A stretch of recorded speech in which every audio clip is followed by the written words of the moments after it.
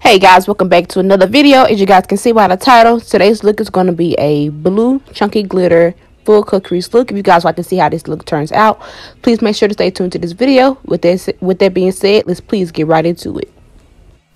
Alright, so as you guys can see, brows are already done per usual. And now you guys see I am basically blending out my P. Louise base. I used the P. Louise base in the shade 2 and 0 to put as a primer for my eyeshadow colors. So I usually don't show this on camera, but what I'm just doing is going in with a buffer blending brush and, and just basically distributing their product across my eyelids. And now I got the shade 0, which is the pure white shade in the P. Louise bases. I just put like a dot on my eyelids because I don't have really much space when it comes to my eyelids. So I don't like to put too much because it'll be hard to blend out. And it's white, so you don't want it to be too much on your eyelids.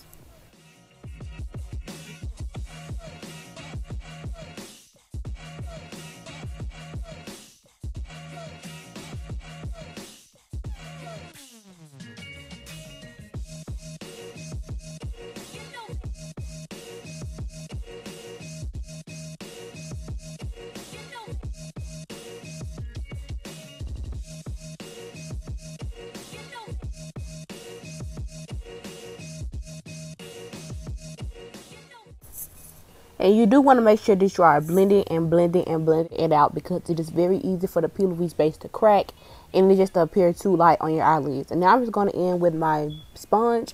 And because I didn't like how my uh, brush was applying, I guess it's because it's a little too dirty. But it usually doesn't do that. But because I felt like it was just doing way too much, I just went in with my sponge and just blended it out with my sponge. Even though I barely ever do that. And then I just like it was streaky, so I just went back in with my brush and applied some more. And then off camera, I just went back in with that sponge and just blended it out again. And then you're going to let your P. Louise sit, base sit for about three minutes because you don't want to go straight in with eyeshadows because it'll allow the colors to mix together and it'll just look very, very tacky and muddy. Now I'm going to be using my Back to Brazil palette. I love this palette. Y'all got, you guys already know I love this palette for the colors that it has in the palette. I'm going to be starting off with the black. And I'm going to be starting off with the black because I want my cut crease, like the creases, crease color to be pretty smoky. So I'm going to be doing a reverse method for this specific look just because I feel like the reverse method allows your colors to be a lot more bold and pigmented. So what I'm doing is I'm going in with a small blending brush, well a small buffer blending brush. And then I'm just going to use that brush to pack that color on. I'm not going to blend it out yet. I'm going to just pack that black into my crease and then I'm going to do the same for the other eye. I personally love the uh, Back to Brazil palettes black. I feel like it's like the most pigmented and the blackest black that I do have in my kit right now. So that's why I decided to go with the Back to Brazil color black.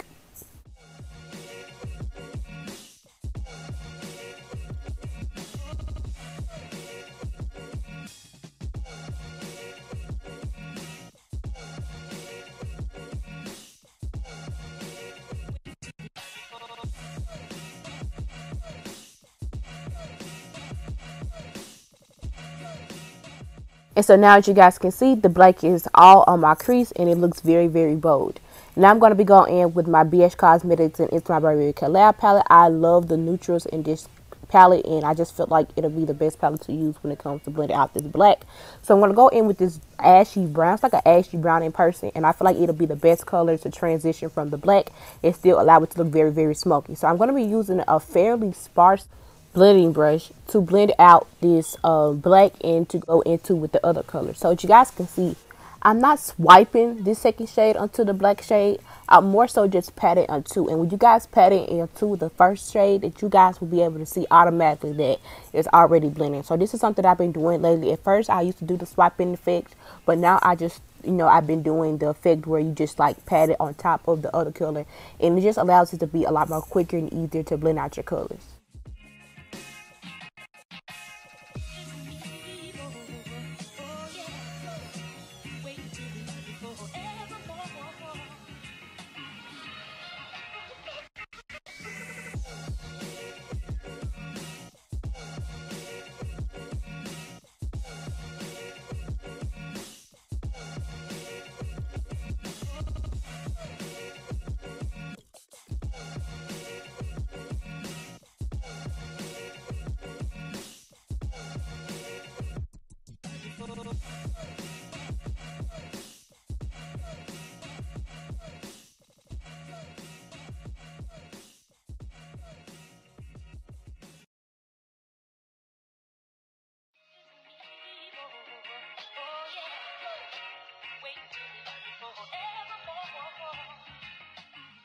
So now the two colors are pretty much blended out. I still have to do a lot more blended out, but this is pretty much blended out. And now I'm just going to go back in with that black just because I usually feel like I'm losing the first shade but I go on top of with the second shade. So I'm just going back in with that black using the exact same brush that I used to apply the black the first time.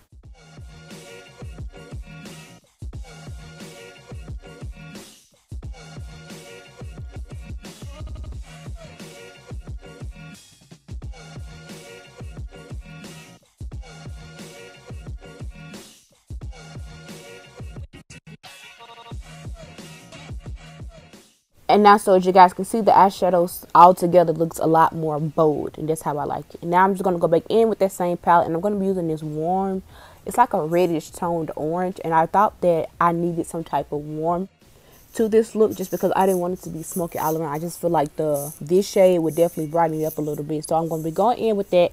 And I'm going to be using a very large eyeshadow brush just because a very large eyeshadow brush would be the best brush to use for when you're applying your last shade. So as you guys can see, I'm just going around that second shade. I'm going to go around that shade with this um, warm shade just so that it can be a lot easier for me to blend it out.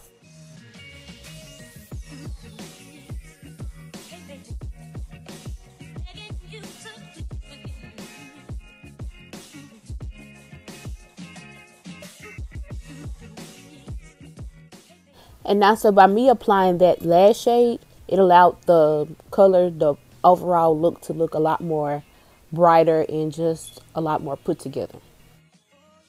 And now, so this has to be my favorite part. I love cutting my creases, y'all. I decided to do a full cut crease. At first, I was a little confused on which what kind of look I wanted to do, but I feel like I haven't did a full cut crease in a minute. So I decided to go in with a full cut crease. I'm not really gonna go into deep detail about how I cut my creases.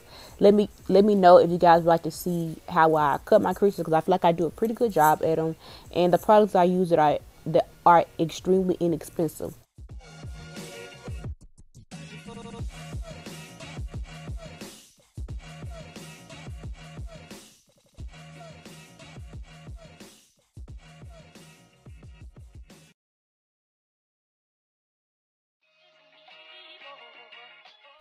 Look at it. That's just one crease cut already. And that's just period, y'all. I do a very good job at cutting my creases. For real, for real.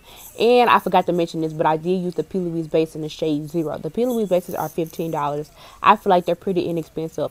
You know, a little bit more affordable than you would think they are. So I use the P. Louise base in the shade Zero to cut my crease. And then that's just how it looks. That is, that is perfect, y'all. Y'all can't tell me that ain't perfect. Okay, so now I'm going to go back in with that Back to Brazil palette. And I want to use that blue because I need some type of base to put down before I add my glitters. It's very important to add a base. This is something I used to not do. And I definitely uh, see a difference in it. You know, an importance and why you why you should do this. But basically, you want to make sure that you are going in with that base. Typically, whatever color that your glitters are, I would suggest that you use that color for your base. So I'm using blue glitters today, so I wanted to do some type of blue base. So I am going to be doing a gradient from light blue to dark blue just because I wanted my crease to look a lot more dimensional. Then I'm going to go back in with the Back to Brazil palette. And I'm going to be using that shade that's under the shade that I just got done using for the outer portion of my crease. Like I said, because I wanted some type of dimension when it comes to my crease color and when it comes to the base that I'm going to be using for my glitters. And I'm just doing the exact same thing to the other side. And I forgot to mention this. I'm pretty sure you guys can see by the clip. But I am using a flat shade brush to do this. I feel like those are the best brushes to use when you're trying to apply um lid colors and then as you guys can see it looks so much better than it would if i would have just did one color blue then i'm gonna be going in with this just like a random brush and i'm just going to be basically blending the two colors together because it looks a lot divided it looks like you're able to see the blue then the dark blue so i'm just going to be using that brush to kind of blend it out and so it won't look so divided and then I'm going to go be, go back in with my Back to Brazil pie. And I'm going to be mixing a very dark blue. And I'm going to be mixing a black together. As you guys can see, I'm pointing at the two shades. And I'm going to be using like a angled blending brush to just kind of pack those two colors at the end. Like the outer view of my eye. Just because I feel like I wanted to make it a lot more deep. I wanted to look a lot more dimensional. You know, you just want your eyeshadows to look very dimensional. You don't want a very flat eyeshadow look. So as you guys can see, it already, it already looks, for one, it looks very good. And it's a lot different from the other side. As you guys can see, that's how it looks before and that's how it looks after. So I'm just doing that for both sides so that it can look identical.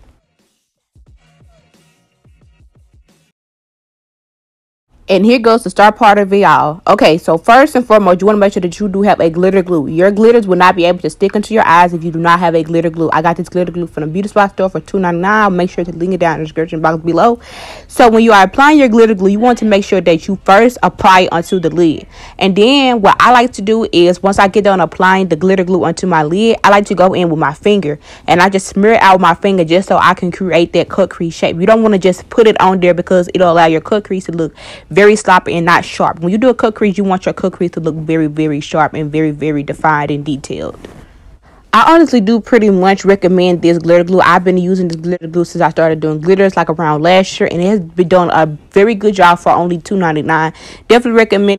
And another thing that I like about this glitter glue is that it is shimmery. So it creates the illusion of already having glitters.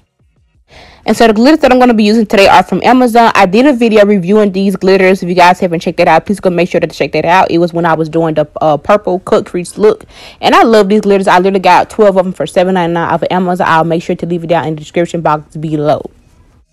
I'm making sure to use a flat shade brush. But the thing about this flat shade brush is that it's angled. So it fits perfectly for when you are uh, putting things on your crease so that you won't get it into your actual like crease colors you guys see that it fits perfectly for when I'm trying to get in my inner corner and that's why I decided to use a angled flat straight brush to do this specific procedure.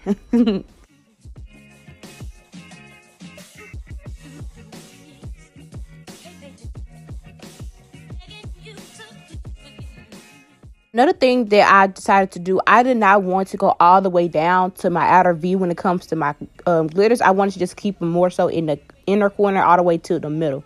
Then I'm going to be going back in with that brush that I used earlier for when I mixed in the, the dark blue and the black because I wanted to look a lot more deepened. Y'all know I love a smoky eye, so I wanted to make sure that it looked a lot more deepened, even though it didn't really need it, but I just feel like why not add some more color into my outer V, honestly.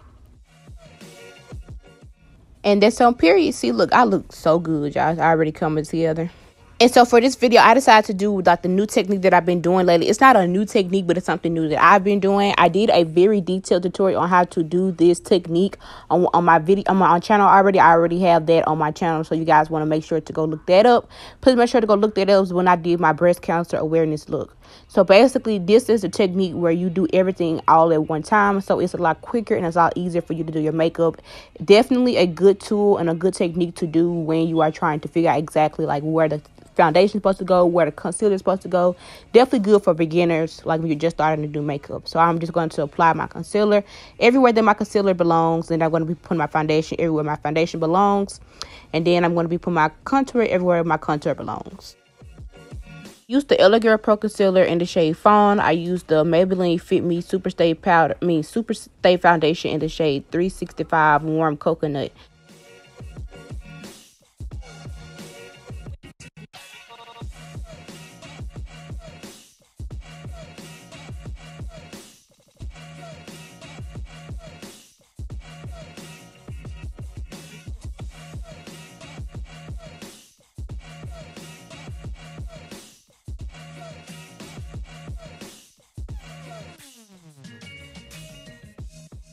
So now I'm just putting my contour everywhere that my contour belongs. And then for my contour, I use the Black Opal foundation stick in the shade Suede Mocha. And I love this shade for me, y'all. I used to use the darkest shade that I had.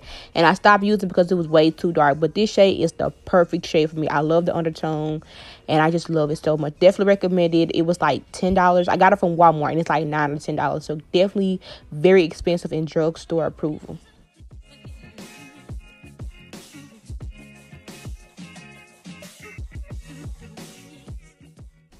So now I'm just gonna go back in with my sponge and I just use a sponge to blend out everything. I'm not like I said told you guys I'm not gonna do an in-depth tutorial on how to do this, but you do want to make sure that you start off with blending out your foundation first. Wherever you see your foundation, you want to make sure that you blend out those parts first. Very, very, very, very, very, very much blend it out before you go in and blend out your concealer and blend out your contour.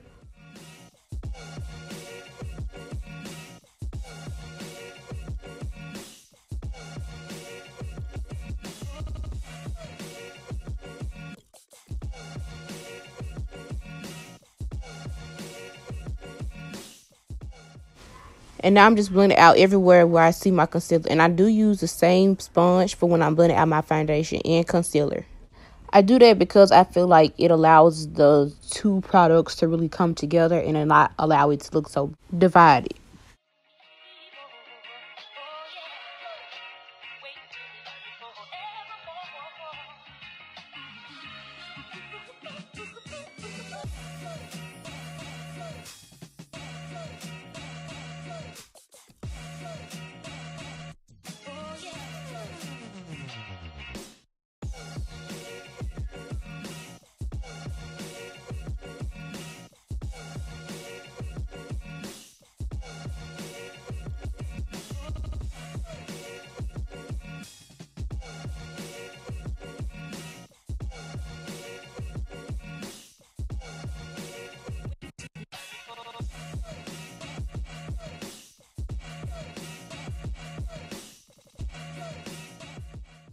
And I'm just going in with my other brush that I use to blend out my contour. And I'm just going to blend out my contour in all the areas that I see contour.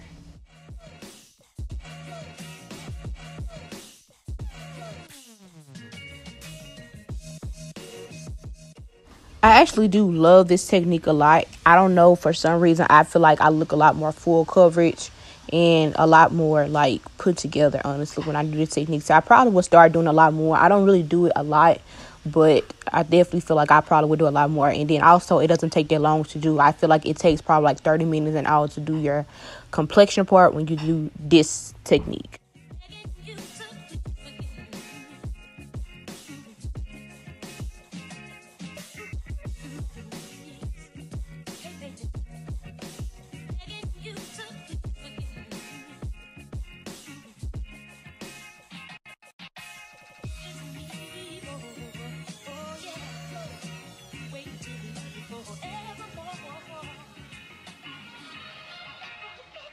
And so whenever I feel like I want to do a like an actual full beat, I usually go back in with the P. Louise base in the shade 2, the same shade that I used to, for my base for my eyeshadows. I use that and I put a little bit of it right under my eyes to give it more of a bright look because, you know, sometimes I like a neutral glam, sometimes I like a full beat look. In this case, I really wanted a full beat look, so it allowed my under eye to look a lot more bright. I definitely don't use too much because I don't want it to look too bright. Like it is a very light shade. So if you use too much of it, then you would just look very, very light and you don't want that.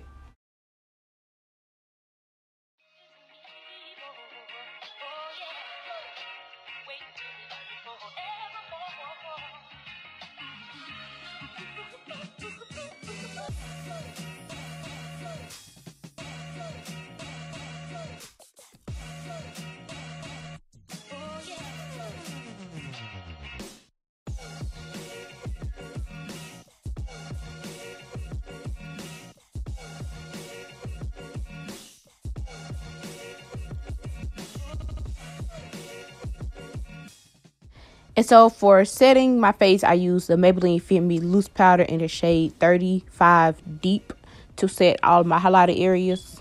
All the areas that I applied concealer.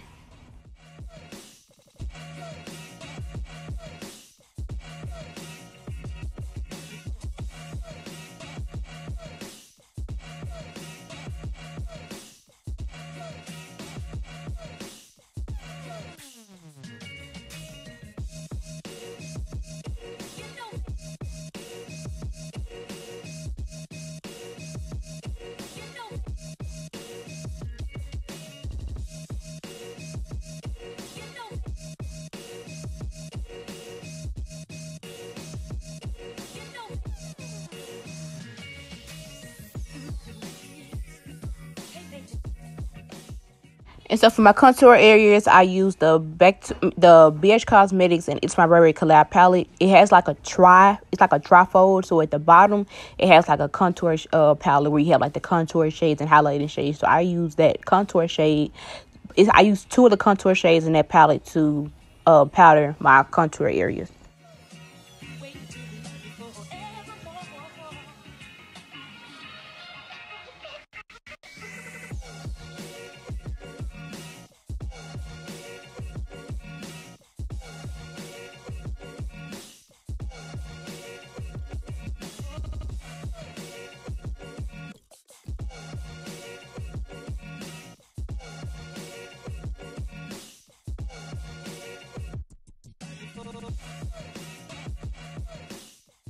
And then for my highlight, y'all, look at this highlight. This highlight is freaking popping. I use the BH Cosmetics 6-pan highlighting uh, palette. I think it's in the uh, Royal Quartz. If I'm not mistaken, it's in the Royal Quartz collection. I'm not really sure, but I made sure to leave in the description box below. But this highlight is freaking popping. And I did not even spray my brush in order to get it to be extremely pigment. It was like very pigment on its own. On its own. So I definitely had to go in with like a big like fan brush to kind of like tone it down because it was a little too much for me.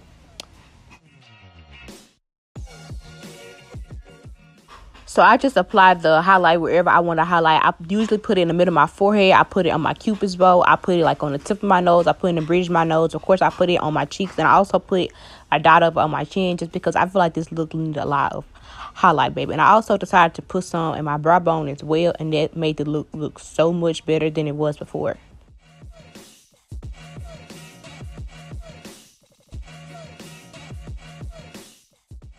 And so for this part, I got from Taylor Made Jane in one of her videos from yesterday that I watched. So basically what I am doing, and I'm going in with that P. Louise Beige in the shade Zero, which is the pure white. And I'm just going to get like a very detailed um, eyeshadow brush. And I'm going to be putting in that in my waterline. And what this does, it does three things. It allows your lash, lower lash line colors to actually pop. And it also allows it to not be able to have like a lot of fallout. Because when we put our lower lash line colors on, it looks a lot like when you putting it on it like the fallout like comes all on your under eye and it looks very very bad. And I also it allows your eyes to look a lot more bigger than what they are especially with certain looks. A lot of people like to do with like neutral glams so that it can really give the illusion that your eyes are a lot wider than what they are. So i learned this tip from her yesterday and i definitely decided to do it. You don't have to have the P. Louise base you can use literally like the L.A. Girl Pro Concealer shade in the shade zero or you can use you can use anything that you want that's like pure white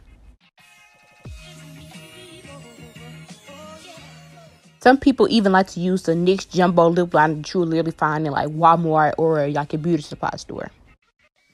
And so before you go in with your lower lash line color, you want to make sure that that P. Louise base is like pretty tacky, just like you want to put it on your eyeshadow, like on your lids. You want to make sure that it is very tacky before you go in with any product because it can allow it to look a lot muddy and you do not want that. So I'm just like putting some mascara on my lashes just to kind of pass time.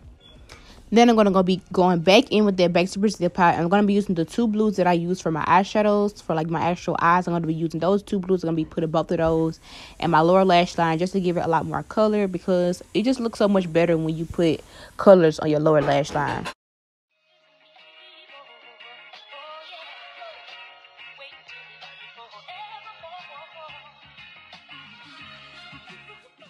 So of course going to be doing it for both eyes. So what I did, I decided to put the lighter blue on the outer V and then I decided to put the darker blue in the inner corner. So just, I don't know, I just wanted to do something different, something I usually don't do.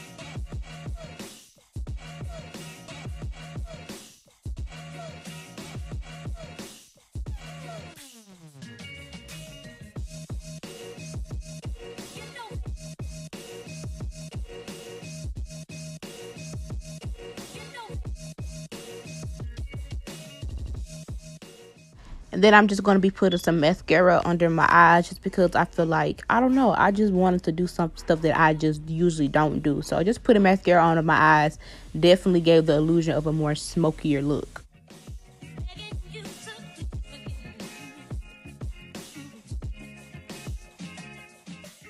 Y'all cannot freaking tell me that do not look good, y'all. I'm so freaking proud of myself period. Now I'm going to be going in with a NYX lip liner. I forget the exact shade, but I made sure to leave it down in the description box below. I wanted to do a nude lip. That's like my go-to lip for any look. So I just made sure to go in with a brown lip liner first just because I didn't want to just slap on a nude lip. I'm just too dark for that. So I'm just outlining my lips per usual.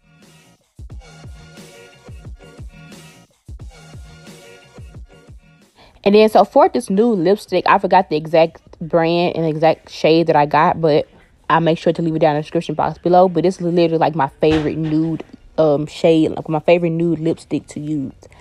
And then I'm just patting it, make sure that it looks pretty blended the way I like it. I feel like I need a little bit more lip liner because I feel like I lost that lip liner when I added the um nude lipstick. So I'm just going back in just because I don't want it to look too light.